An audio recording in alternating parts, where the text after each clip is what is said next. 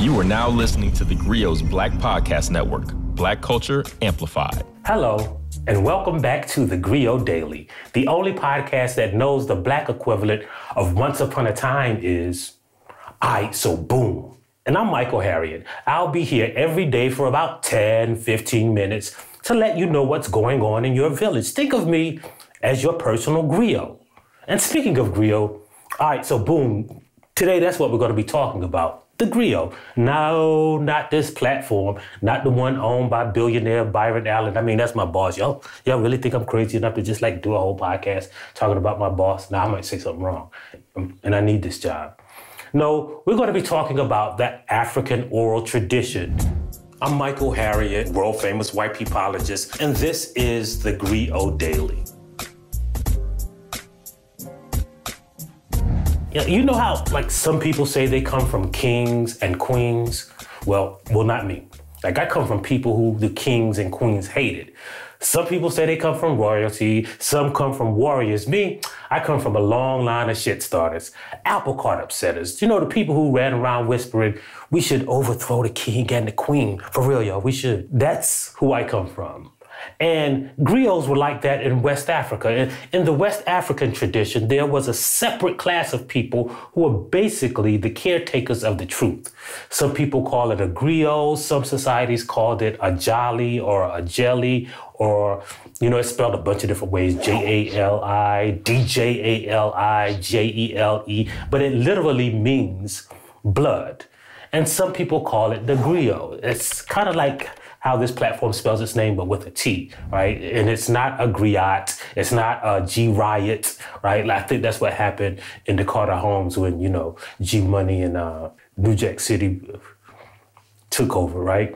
Griot means different things in different communities or different societies in West Africa, right? Sometimes some people describe a griot as a storyteller, some like just a songwriter or like a troubadour. Some people say that they are poets. Some say that they are like historians or the keeper of the oral tradition. Some people say they're like praise worshippers. Some say they're journalists, they're artists. But the truth is, like, they're all of that combined in one, right? The history of a society is combined in its art and in its journalism and in its truth tellers. There couldn't be an emperor or a king without a griot in some African societies, but we kind of kept it going when we got here in America. And and it wasn't just something like you could become, like you don't just like apply for a griot job or run for griot office. You had to be born into a class of griots and raised as a griot. And so you know how like say you send your somebody a text message, right? And they misinterpret it like, hey, why you sent me that text message like grilling me on what I was doing? And you was like, nah, I was just asking what you was up to, like what you doing. See, you can misinterpret that in text or in writing. But when you hear someone who is trained to communicate through the oral tradition for their entire lives, there won't be any mistake. And so it's not quite like, uh, you know, just talking and what people remember, right? Like griots were trained in memory. They were trained in communication. So it's not like a game of telephone. If a griot tells you that someone had a red shirt on on the day that this king was inaugurated, 300 years later, that same story will be told and the same person will have that same red shirt on because that story was filtered down through the griot tradition. And in, in these societies, like the oral tradition, it was more important than the written tradition. That's why, you know, like white people don't trust anything that they didn't read in a book. Like we would trust anything that we didn't hear from a griot in some societies, right? And griots also created American culture. It's not like we left it over in Africa, right? Like a few days ago, right? There was this dude, this white dude, and he was complaining about all of the black people who were at the Country Music Awards because he didn't know that country music was created by griots, by the African tradition, right? The first instrument of country music was the banjo, which is an African instrument that was used by griots. right? And so the griot not just created African music, they didn't just create country western music, they created all of American music, right? Because, you know, country western music and the blues created rock and roll, and then that's what created hip hop and jazz. So look, all of that came from the griot. One of the greatest griots was Sister Rosetta Tharpe, who invented rock and roll. And I only say that because I'm going by the definition of invented, which means like the first person to do a certain thing. And Sister Rosetta Tharpe in the 1930s was creating licks on a guitar and playing guitar the same way Prince plays it now. Right? Like all of the great musicians from the early history of rock and roll say, "Oh yeah, I just like did what I heard Sister Rosetta Tharpe do." On take it a trip to the sky, and that will be be the last move, oh move for me. And Sister Rosetta Tharpe was raised as a griot. She was raised in the Church of God in Christ, right? And she would travel with her family, who were singers, who were musicians, to tell people about the good news, right? Like we call it the gospel, but it's really the West. First of all, gospel music is created from the West African praise tradition, right? Though if you see people shouting when they get the Holy Ghost and you see a praise circle in the Yoruba culture, it's the same thing, right? And Sister Rosetta Tharpe became the griot who created rock and roll. Again, she invented it only because of the definition of invent. And that's the same is true with, with a lot of American culture. For instance, there was this guy named Charlie Case. Charlie Case was born in Lockport, New York, and he was smart and he became a lawyer. And he wasn't a very good lawyer, right? Um, he would win some cases, he would lose some, but he would just go into these long stories every time he had a court case. And after he failed to defend this guy who stole a cow, this is a true story, the judge told him, like, you should just get out of law, bro. And so he got a job as a traveling salesman. But he was a terrible traveling salesman also because people loved to see him coming and they would gather around him and listen to him tell stories all day, but they wouldn't buy anything. But, you know, as a traveling salesman, he made friends of people who were on the vaudeville circuit because he'd see them at the hotels and all that. And one of them got sick, and Charlie Case, he created this fundraiser for him, and he decided to, you know, just try to go on stage and do some vaudeville himself, and it was a hit. And he would sing on stage, and he was dance on stage, and he became one of the biggest acts in all of vaudeville. But he hated wearing blackface. You know, back then they had to wear blackface. And Charles, he was of, of, of mixed heritage, right? His mother was white, his father was black, but he hated wearing blackface. And so he decided to stop. And plus, he was real nervous on stage. He would do this thing where he would play with a string. And every time he told a joke, he would do this because he just had this nervous twitch. And everybody started biting his style so much that every time the point of his joke would hit, they started calling it the punchline.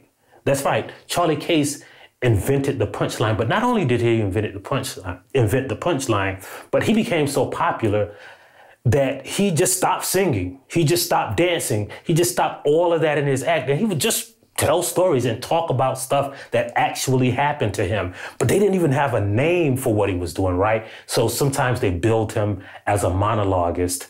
And his, you know, his call was they would bill him as the man who talks about his father because he would just tell stories about his family.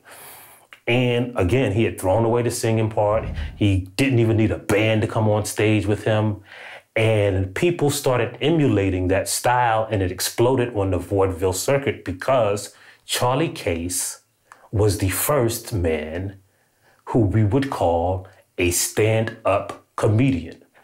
And W.C. Fields basically stole his entire career. His first film, right, was a movie about a song that Charlie Case had written. And so Charlie Case was also a griot. He was in that African tradition of telling the truth no matter what. And one of my favorite griots was a woman who lived in Memphis, you know, and, uh, you know, one day she was out of town and a white mob killed one of her best friends. And as he was dying, the man said, Tell my people to go north. But who was going to tell those people? Well, his best friend, Ida B. Wells, would. Because Ida B. Wells, like everybody knew that she was not afraid to tell the truth. Like Ida B. Wells was legitimately the most famous person in America at a certain point because she basically created investigative journalism. She was the first anti lynching crusader. And a lot of people credit her with the first being the first person who used data to talk about social justice, right? So instead of, you know, saying this bad thing happened to this person in Memphis, what Ida B. Wells would do was compile statistics of all of the lynching cases to show that it was an epidemic right? It was systemic instead of a problem that this that happened over here and a problem that happened over here. And Ida B. Wells became the most famous woman in America. She was known for telling the unvarnished truth, and she was a griot. And you know, one of the things, one of the saddest things is that we'll never be able to know all of the stuff that Ida B. Wells wrote because the newspaper that she ran was burned to the ground by a white mob. And as a historian, as somebody who, who looks into history, you'll see that a lot when you look for newspaper articles by the black press, which was really prevalent in the early 1900s, even the late 1800s. But oftentimes you'll find that an article that people reference has disappeared because the whole newspaper's archive, especially black newspapers, were always burned by a white mob. Because you can destroy the written history of the abuses that black people suffered, right? But you can't destroy the movement and the memory that we have preserved through the oral tradition. And that's why the griot is important because, you know, as we can see with what's going on in the world, like white people ain't that really that crazy about history, about passing along the truth. People in power aren't very fond of the truth. And that's why the griot exists because who's going to tell your story? Who's going to whisper to you all, we should dethrone the king? Who is going to watch the throne? Well, we will, because we're the griot. That's why we're here. And that's why griots are important. I want to thank you for listening. I want to let you know that we'll be here every day for you to get your fix of what's going on in the village. Don't forget to subscribe. Don't forget to download the Grio's Black Podcast Network app know, really for real. Like even if you're gonna listen to it on another platform, download the app for real. Like it helps us out. And remember that someone has to tell your stories. And I'll leave you, as I leave you every day, with another black saying. And today, the only appropriate thing to leave you with is this. What had happened was. If you liked what you heard, please give us a five star review, download the Grio app, subscribe to the show, and share it with everyone you know. Please email all questions, suggestions, and compliments to podcasts at thegrio.com. You are now listening to the Grio's Black Podcast Network, Black Culture Amplified. What's going on, everybody? Panama Jackson here, and I'm the host of the Dear Culture podcast on the Griot Black Podcast Network. And I'm telling you to check us out every Thursday on the Grio's app to make sure you get that new, amazing, original black content, that awesome creativity. Check us out. Dear Culture, Panama Jackson,